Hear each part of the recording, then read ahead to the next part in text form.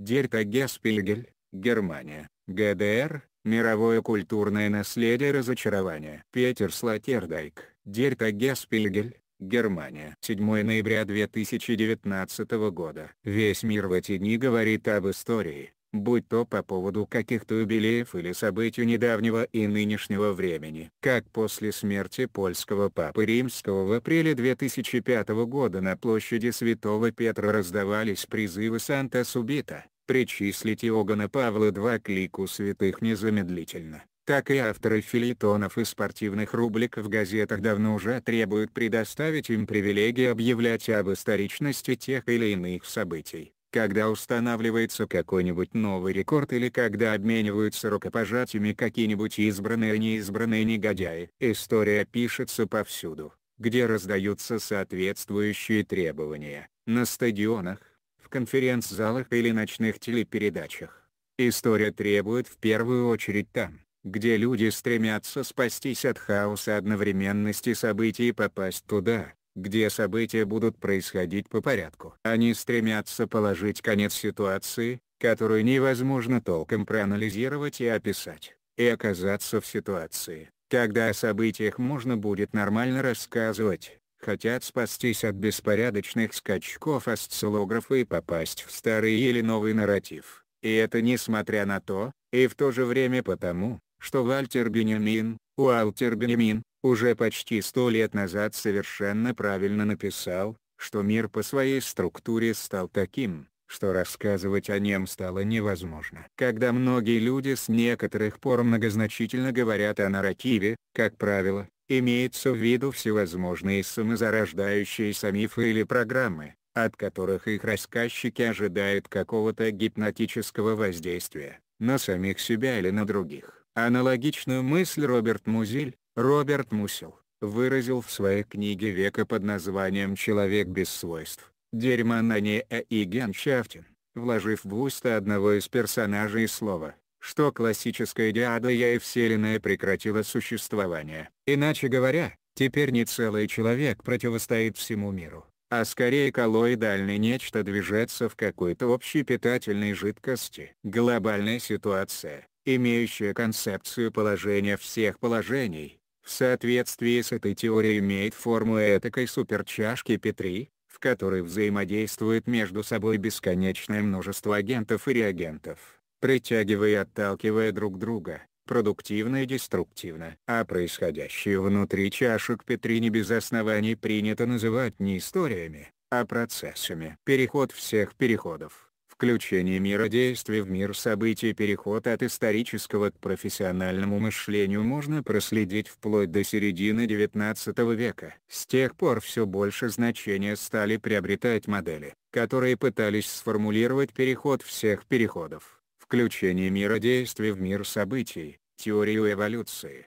термодинамику, теория движения капитала, морфогенетику, биосистематику, климатологию, экологию, кибернетику, семиотику и теорию всего. Все это – формы мышления, проникновение которых в общение современников после Первой и Второй мировых войн породило настроение понятия постистории. Вышеупомянутые теоретические концепции объединяются стремлением их авторов дать человеческим агентам в суперчашке Петри чувство ориентации. Сообщить ориентацию означает вызвать ощущение тенденции всеобщего движения. Именно это – Ощущение, что всеобщее движение является следствием некой тенденции, а тенденция стремится к некой осознаваемой человеком цели. Коротко говоря, что она стремится навстречу разумному и правовому государству, которое, в свою очередь, высвобождает благополучные культурные государства, способствовало на рубеже 18-19 века появлению понятия истории. Оно относится к тем редким концепциям, который заменяет плурализм и эстатис на единственное число при обращении к величеству. При этом утверждается, что в суперчашке Петри не бесцельные процессы должны главенствовать над командой, а наоборот, осознанная цель должна определять направление процессов. Там, где до сих пор речь шла об обычном процессе, должно происходить историческое действие, а там, где начинается действие, От его результатов ожидается конвергенция Чунграна Салис с рациональным планом. По крайней мере результаты не должны наказывать план ложью. Размышления такого типа вызывают абстрактные воздушные кадры ситуации, сложившейся в Западной и Центральной Европе между 1789 и 1830 годами. С почти фривольной, по сути, гегелевской высоты они иллюстрируют опыт поколений, возникший под влиянием французской революции и наполеоновских войн. Среди современников тех потрясений, у тех обоих романтических поколений, закрепилось понятие истории, которое было ближе к античной концепции судьбы, чем к просветительской идее разумных народных и государственных действий. 1-9 ноября в серии европейских знаков истории Французский переворот 1799 года около 1800 года постепенно утратило свою силу стойко-христианское представление, в соответствии с которым развитие вещей в долгосрочной перспективе определяется провидением, даже если человеческий разум не может это осознать. Господь пишет между строк. Как муравей может оценить рисунок ковра, по которому ползет. Обесценивание обновленного понятия судьбы началось с широко распространенной черной иронии по поводу развития истории. Современники не могли не заметить, что после переворота 18 Брюмера 1799 года, 1-9 ноября в целой череде исторических знаков, колесо истории вместе с избранием Наполеона первым консулом закрутилось в сторону неомонархизма. Те, кто отказывался в это верить, 2 декабря 1804 года получили вторую возможность убедиться в этом,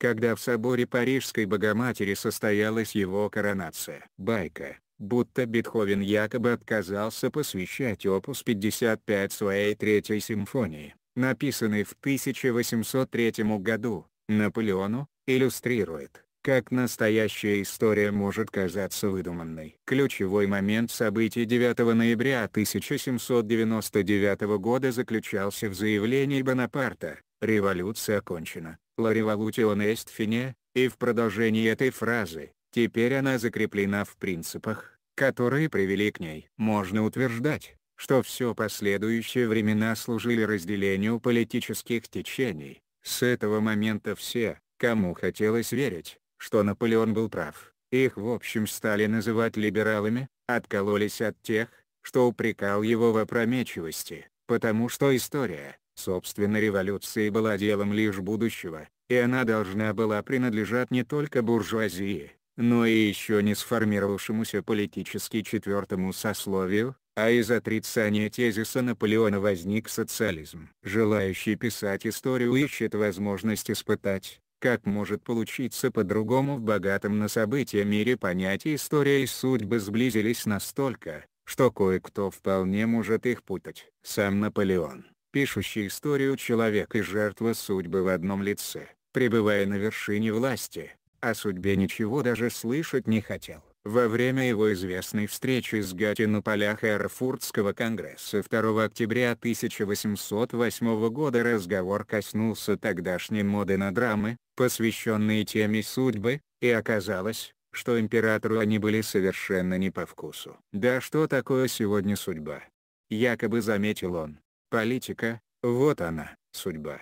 Несколькими годами позже, уже утратив власть, он многозначительно признался, Правда в том, что я никогда не был повелителем собственных действий. Тот, кого многие считали главным человеком дела последнего тысячелетия, в минуту раздумий, глядя на руины, в которых лежала Франция, смог во всеуслышание отказаться от иллюзии свободы действий. Оглядываясь назад, он признал, что его действия бывали продиктованы той или иной сложившейся ситуацией. Желающий писать историю ищет возможность лично пережить, как может получиться по-другому. Власть судьбы дала о себе знать на мировой арене, когда договорилась ценой потрясения утопии с искусством возможного. Существование Наполеона окончательно перешло в мистический спектр когда он на острове Святой Елены стал таким закованным в кандалы и Прометеем. Когда в эти дни вспоминает 9 ноября 1989 года,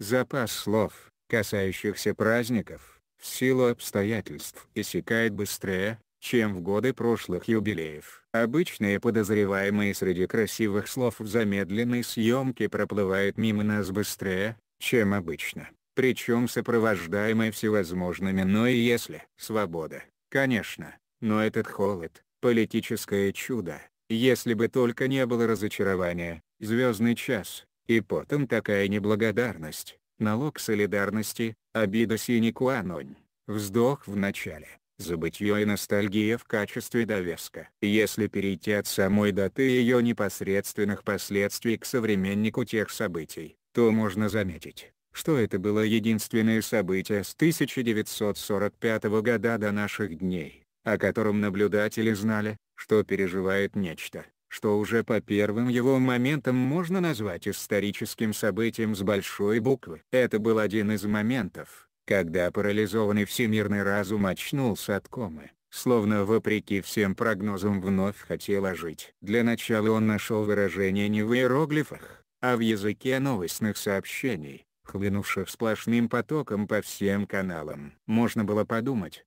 что все кино и телекамеры мира включились разом, чтобы показать, как люди обнимаются, радуясь тому, что их больше не разделяет стена. Когда история пробудилась, Никто не хотел видеть ничего другого, кроме новостей. Им не нужен был пафос, было достаточно камер, направленных на лица людей. Если начинали говорить высокопарно, стена рухнула, никто не обращал на это никакого внимания. Все знали, что стена не рухнула в буквальном смысле, но перестала быть неприступной, Сначала власти ГДР утратили контроль над несколькими переходами, а затем люди принялись взбираться на нее, танцевать на ней, перелезать на другую сторону. Позднюю ее стали ломать, а в конце концов и вовсе снесли. За 28 лет существования она удостоилась стольких проклятий, что не было ничего удивительного в том, что в итоге люди разобрали ее буквально по кирпичикам, превратившимся в амулеты свержения зла которые теперь продаются в сувенирных магазинах. Историки утверждают, что ушлые бизнесмены из районов в окрестностях Бастилии после 14 июля 1789 года хорошенько обогатились. Впрочем, что касается Берлинской стены, тут не примечательно ни относительно короткий срок ее существования, ни уникальная извращенность оправдания ее возведения. Примечательно то, как неожиданно она утратила свою функцию. Наверное, история не знает ни одного другого примера, как некая конструкция буквально в течение часа превращается в руины. Это было уникально даже по меркам ГДР. Эта странная республика очень умело создавала именно руины. Руководство страны настолько часто оставляло без внимания развалины исторических зданий в разных городах, что в народе даже появилась поговорка создавать руины без применения оружия. И это было больше чем шутка. Это был вполне серьезный диагноз.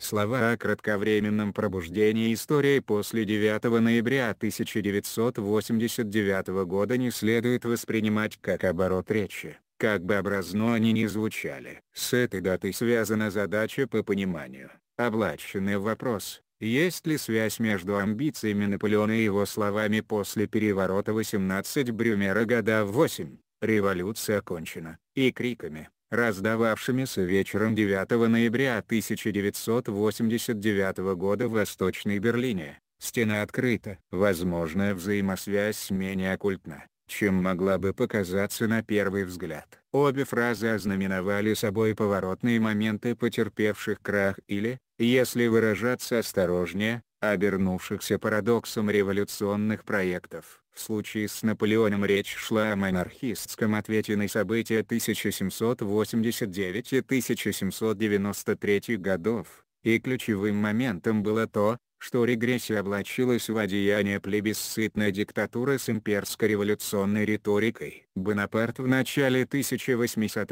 года победил на выборах пожизненного первого консула, состоявшихся задним числом, получив при этом более 99% голосов, но при участии менее 50% избирателей. Слова «стена» открыто подвели черту под попыткой трансформировать русскую оккупационную зону на территории прекратившего свое существование гитлеровского рейха путем импорта системы в немецкоязычную Советскую Социалистическую Республику. Там, где слышались возгласы «стена открыта», как правило, звучала и наполеоновская революция окончена. Но это не были отголоски продлившихся 10 лет великих дней с 14 июля по 18 Брюмера.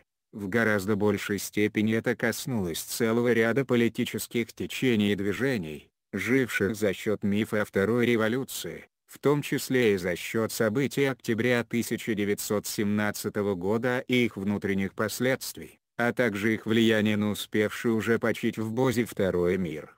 Те, кто в ноябре 1989 года произносил экспрессивные слова про окончившуюся революцию, отделились бы от тех, кто на протяжении почти 200 лет спорил с этим утверждением Бонапарта. Они были уверены, что революция лишь временно успокоилась, но реальная революция, вторая, великая, настоящая, должна была начаться позже. Открытие стены как заключительный эпизод революционной истории мощное чувство в ноябре 1989 -го. Та самая непосредственная уверенность, что видишь, как история творится прямо у тебя на глазах. Все это было обусловлено тем, что открытие стены стало непредвиденным, но в то же время незаменимым с точки зрения драматургии заключительным эпизодом революционной истории начавшийся некогда в июльском Париже, чтобы теперь случайно, но неизбежно закончиться в позднеосеннем Берлине. Если последующие недели у многих свидетелей тех событий вызывали чувство великого, то потому, что те события с пафосом последнего раза вызывали в воображении грозу великих дней на российской, китайской, кубинской или камбоджийской земле. Если бы история могла писаться сама, то она дала бы этому эпизоду название «Конец иллюзии». Постепенно драматургическое чрезвычайное положение улетучилось, и это стало ощущаться примерно с середины декабря, когда люди начали вспоминать, что есть в мире и другие события, справедливо привлекающие к себе внимание. Люди стали понимать, что шокирующее превращение Берлинской стены в груду развалин было лишь началом. Как на французских вокзалах можно видеть предупреждение «Унтрейн Пеуэн Чачеру на утре», за поездом может скрываться другой поезд, так и после перехода упраздненной границы на восток стало понятно, что руины могут быть намного масштабнее, чем казалось сначала. Ведь при отсутствии надлежащего хода рушатся даже очень высокие строения, и не только они. Египетские пирамиды, как мы знаем, также неоднократно становились объектами реставраций,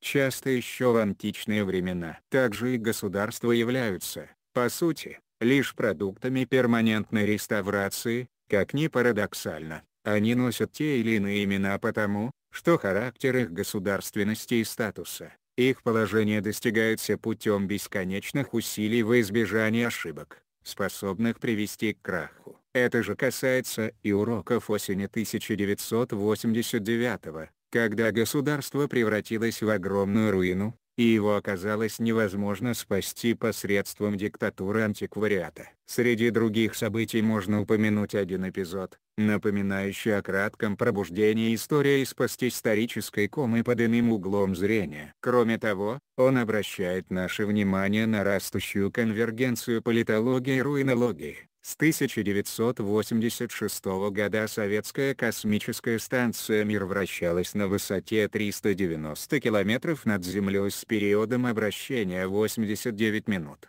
18 мая 1991 года в свой второй полет на Мир отправился 33-летний космонавт Сергей Крикалев, рассчитывая, что его смена прибудет в октябре того же года. Однако на Земле между тем происходили вещи, которые из борта постисторической космической станции представлялись не совсем подходящими. Через три недели после прибытия Крикалева на мир, а именно 12 июня, Борис Ельцин был избран президентом РСФСР, Российской Союзной Республики, входившей в состав СССР. Это были первые с 1918 года свободные выборы. В августе хунта старых коммунистов устроила путч против нового государственного руководства, но он был подавлен благодаря активным действиям Ельцина и массовым протестам граждан страны. Через несколько дней Михаил Горбачев, будучи генеральным секретарем ЦК КПСС,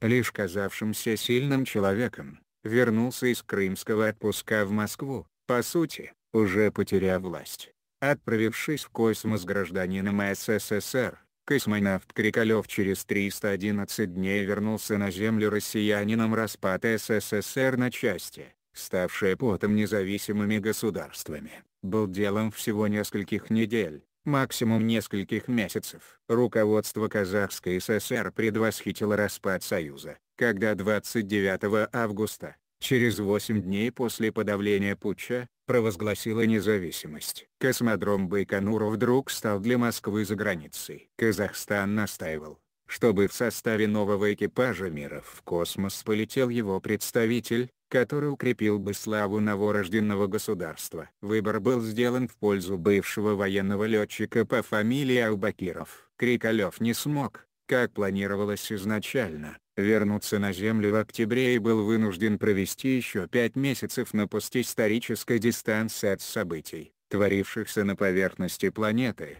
вращаясь вокруг нее по 16 раз каждые 24 часа. Когда он 25 марта 1992 года наконец вернулся на Землю, он ступил на поверхность еще неведомого ему политического образования. Улетев советским гражданином, он через 311 дней оказался россиянином. Кстати, его родной Ленинград за это время переименовали в Санкт-Петербург. Вот одно из чудес современного документального искусства. Мы имеем довольно четкое представление о том, чем Крикалев с коллегами занимались на борту мира. Немецко-румынский режиссер Андрей Ужица, Андрей Уича, в документальном фильме «За пределами настоящего», «Out of the Present», вышедшем на экраны в 1995 году, смонтировал и показал широкой публике 89 минут видеофильмов, записанных членами экипажа и космической станции. Неизгладимое впечатление на зрителей произвела, например, рождественская вечеринка космонавтов когда зажженная свеча плавала в невесомости пламенем вниз. Здесь воплотились в жизнь давние мечты современников – победить Солнце, победить силу тяжести. 23 марта 2001 года станция «Мир» сошла с околоземной орбиты и была затоплена в Тихом океане, и ее фрагменты, не сгоревшие в атмосфере, навсегда опустились на океанское дно. Аналогичную операцию планирует на 2024 год Международный консорциум, управляющий Международной космической станцией, МКС. Так что они тоже работают над созданием руины или руин. Прошлое — это колодец глубины несказанной. Не вернее ли будет назвать его просто бездонным. Так начинается сошествие в ад. Пролог к первой части тетралогии Томаса Манна Иосиф и его братья, Яся Пунтсейни Брудер, носящий название «Былое Иакова» и опубликованный в 1933 году в Берлине Самуэлем Фишером, Самуэль Фишер. Изображенный манном колодец вполне убедителен. Ввиду событий, которые предположительно произошли более трех тысяч лет назад. Они разворачивались во времена, когда жили еврейские праотцы и праматери, ревнивые братья и торговцы медианитяне, Евнух при королевском дворце и его больная жена, занимающиеся инцестом братья и сестры, фараон с тяжелыми снами и харизматичный молодой человек который заставляет судьбу основательно изучить искусство любезности, потому что в этой сфере может фатально полагаться на один лишь талант. Непонятно, насколько глубоким можно считать колодец прошлого, если он ведет к событиям всего лишь 30-летней давности, пусть даже есть признаки, что он где-то соединен с более глубокими колодцами. Кроме того, непонятно, идет ли речь вообще о колодце. Больше похоже на то, что кто-то слишком рано залил колодец над неким событием бетоном, как это часто делали в Рурской области с заброшенными старыми угольными шахтами, чтобы предотвратить обрушение скрытых под поверхностью пустот. Если такие аналогии уместны, то получается, что колодцы тоже могут стать руинными. Когда в ближайшие дни великое множество людей соберется на мероприятие, посвященные 30-летия так называемого падения Берлинской стены, это будет по-своему правильно. События происходят, лишь когда их символически повторяют. Надо понимать, что культура юбилеев закручивается сама по себе. Она создает рутину, привычку, одну из великого множества. Памятные мероприятия, посвященные падению стены, также превращаются в процесс в большой чашке Петри, пока в дни празднеств не будет поднята проблема колодца.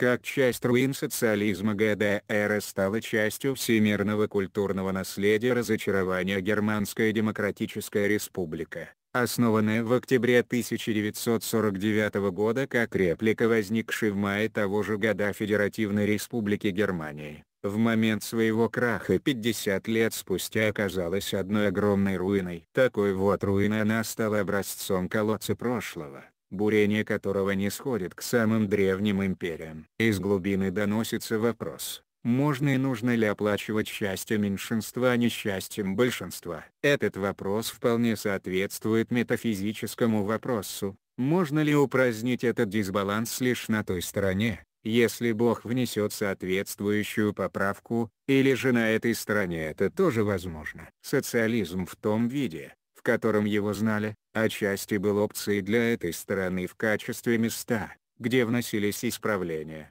Как правило, его неверно понимали как политический материализм. На самом же деле социализм был политическим стоицизмом. В частности, попыткой завоевать независимость в заданных скромных условиях. Примечательно, что попытка удалась наполовину. Протест свидетелей этой половины против последующего обесценивания вполне справедлив. У этого обесценивания были вполне понятные, хотя и странные, причины. Оно исходило из общего отравления современных культур идею счастья в безграничности. Как граждане ГДР должны были противостоять этой идее, если большая часть Западной Европы и Америки нахваливала ее, а следом за ними, и Восточная Европа, и то, что с необоснованным высокомерием принято называть остальным миром. Разочарование все больше влияет и на идею демократии как часть руин социализма ГДР принадлежит всемирному культурному наследию разочарования. Сначала уже, между делом, не совсем нового века оно распространяется на страны, которые прежде были, по сути, лабораториями либерализма. Разочарование все больше влияет и на идею демократии. Многие все сильнее ощущают, что выражение демократии является этаким псевдонимом доминирующих сил, которые вовсе не демократичны. Утверждение, что все насилие происходит из народа, по сути, пустотело. Если учесть, что если не все, то очень значительная часть насилия исходит от меньшинства, олигои, олигократия, Остальное исходит от налоговой системы, фискократия, от управляемой ненависти, мобократия, а также не в последнюю очередь от страха, фобократия. Демократия, которая не удастся укротить этих четырех монстров, рано или поздно, скорее рано, падет жертвой саморазрушительных тенденций. Процессы в глобальной чашке Петри свидетельствуют, что возвращение истории, о которой столько говорилось, после 1991 года было иллюзией. Жизнеспособность демократии зависит от того, удастся ли ей поставить саму себя на первое место в списке всемирного культурного наследия. Материалы на СМИ содержат оценки исключительно зарубежных СМИ и не отражают позицию редакции на СМИ.